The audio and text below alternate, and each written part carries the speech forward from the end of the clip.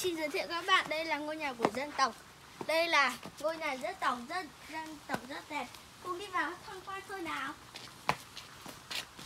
Đây là một cái gói bánh trưng để đây. Và đây là cái bình lọ hoa.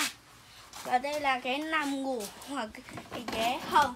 Tất cả những cái các sắc màu Màu xanh hay màu xanh cây cam hồng này. Tiếp đi ra. Đây. Và đây là một con sư tử nó rất to đây là bông hoa xinh này. Mình vừa giới thiệu với các bạn xong đó. Nó quá thơm. Đi tiếp thôi. Và đây là một chú chuột. Mình xin đôi mèo con mèo đôi món cái sợi con chuột. Tiếp, theo. Đây là một chú lợn. Chú lợn như con bò. Giống thật đó. Wow chó. Chú chó này, nó quá to đó đây là một con gà trống gà trống này đó và đây là một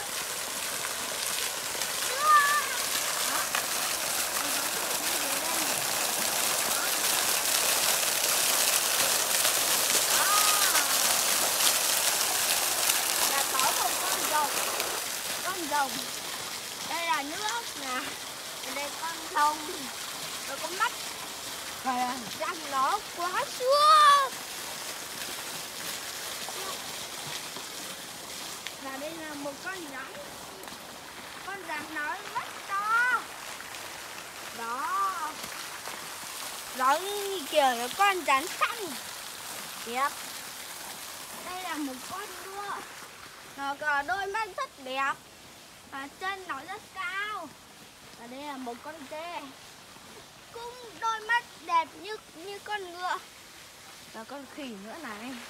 Nó thích ăn chuối đang ăn gì đấy. Nó lại